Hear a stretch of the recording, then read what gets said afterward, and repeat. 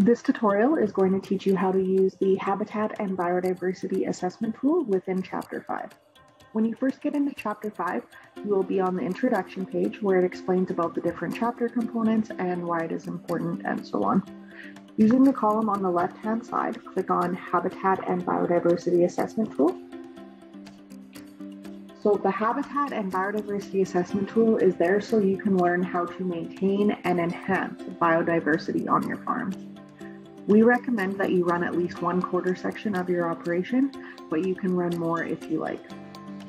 When picking a quarter section to run in the tool, take a look at which quarter sections are representative of a larger portion of your land, which quarter sections are key for managing biodiversity, such as providing a corridor between habitats, and then also any quarter sections where you are personally interested in enhancing habitat or biodiversity. So to start the tool, click on Go to Tool at the bottom of the page.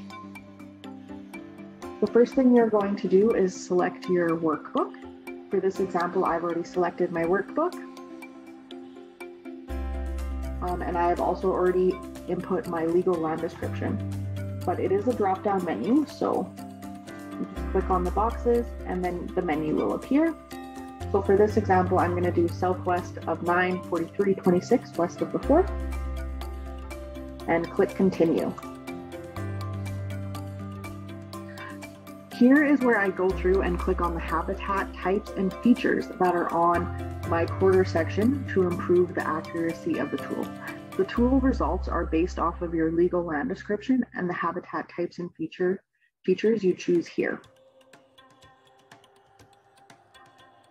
So I have already went through and uh, chose these for myself for this example. But as you can see, um, when I clicked yes, it brought down a drop down menu.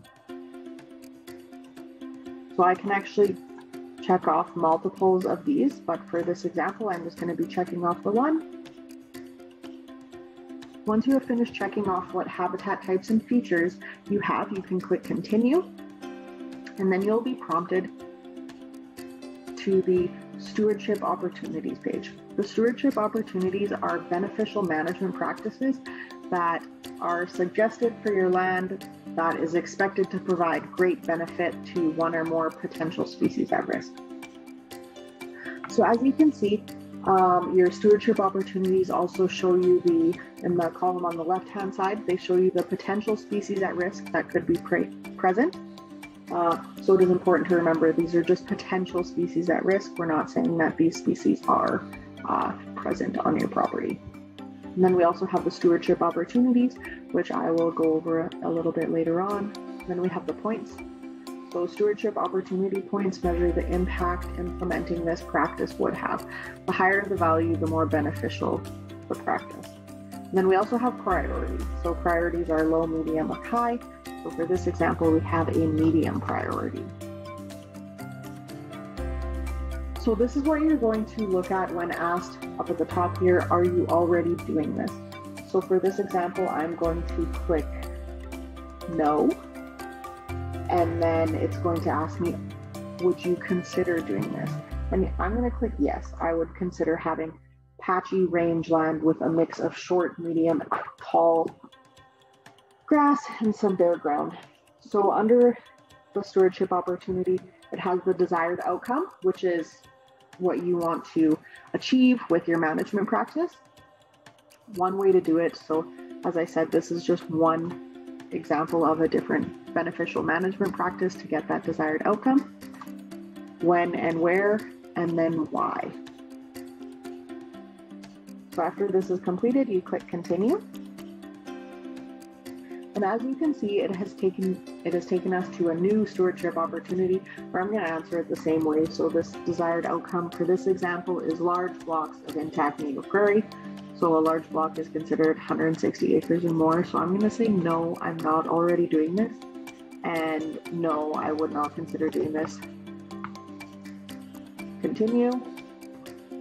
So it's going to take you through three stewardship opportunities like this. So this is the last one and it is the desired outcome is protecting water quality and riparian habitats. So that's something I'm actually already doing because for my example, I have livestock and I'm fencing off my riparian areas and water bodies.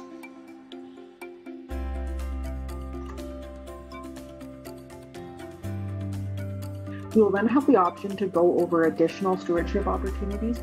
This section is optional.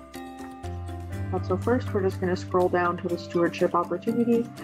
So the first couple are the ones that we've already went through, uh, but I can add in additional comments if I want. And then this is the first new additional stewardship opportunity that they're providing. And it's connected blocks of native prairie. Um, I'm just going to say I would not consider doing this, or maybe I already am doing this. It's really up to you and your operation, and then any additional comments. But for this example, I'm not going to go through these additional opportunities or stewardship opportunities. Um, once you finish the tool, you will receive a habitat management report, and this report will be saved in the My Documents tab just at the top of the page here. Um, but also, there is this gray bar at the bottom of the page where it says Return to Workbook, Save and View Report, where that would save any of your additional um, comments that you may have put with the additional stewardship opportunities and then take you to your habitat management report. Or you can press start over and that's going to run the tool again if you want to run another quarter section. But for this example, I am just going to click return to workbook.